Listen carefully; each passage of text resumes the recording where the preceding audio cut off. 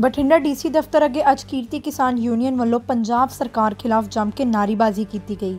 ਕਿਸਾਨ ਆਗੂਆਂ ਨੇ ਕਿਹਾ ਕਿ ਪਹਿਲਾਂ ਗੁਲਾਬੀ ਸੁੰਡੀ ਦੀ ਮਾਰ, ਹੁਣ ਕੁਦਰਤ ਦੀ ਬੀਤੀ ਮਿਤੀ 4 ਨੂੰ ਭਾਰੀ ਮੀਂਹ ਪੈਣ ਨਾਲ ਸਾਡੇ ਝੋਨੇ ਦੀ ਫਸਲ ਖਰਾਬ ਹੋ ਗਈ। ਇਸ ਦੇ ਨਾਲ ਹੀ ਨਰਮਾ ਅਤੇ ਸਬਜ਼ੀਆਂ ਜੋ ਕਿ ਅੱਜ ਡੀਸੀ ਕੋਲ ਅਸੀਂ ਮੁਆਵਜ਼ੇ ਦੀ ਮੰਗ ਕਰਨ ਆਏ ਹਾਂ ਕਿ ਅਧਿਕਾਰੀਆਂ ਨੂੰ ਭੇਜ ਜਲਦੀ ਗੁਦਾਵਰੀ ਕਰਾ ਮੁਆਵਜ਼ਾ ਦਿੱਤਾ ਜਾਵੇ।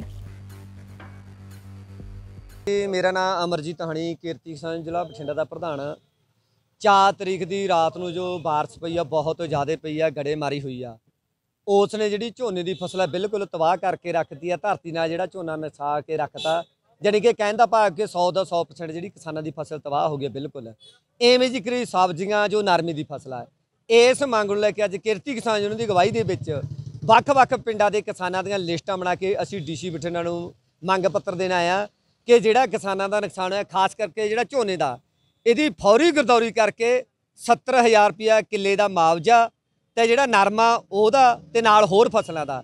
ਜਿਹੜਾ ਮਜ਼ਦੂਰ ਪਰਿਵਾਰ ਆ, ਜਿਨ੍ਹਾਂ ਨੇ ਨਰਮਾ ਚੁਗਣਾ ਉਹਨਾਂ ਦਾ ਵੀ ਜਿਹੜਾ ਨੁਕਸਾਨ ਹੋਇਆ ਜਾਂ ਘਰਾਂ ਦਾ। ਇਹ ਮੰਗਾਂ ਨੂੰ ਲੈ ਕੇ ਅੱਜ ਕਿਰਤੀ ਕਿਸਾਨ ਨੂੰ ਵੱਖ-ਵੱਖ ਪਿੰਡਾਂ ਦੇ ਲੋਕ ਆ, ਜਿਹੜੇ ਡੀਸੀ ਬਠਿੰਡਾ ਨੂੰ ਮੰਗ ਪੱਤਰ ਦੇ ਕੇ ਤੇ ਕਿਸਾਨਾਂ ਦੀਆਂ ਲਿਸਟਾਂ ਸੌਂਪੀਆਂ ਜਾਣਗੀਆਂ, ਜਿਹੜਾ ਨੁਕਸਾਨ ਹੋਇਆ।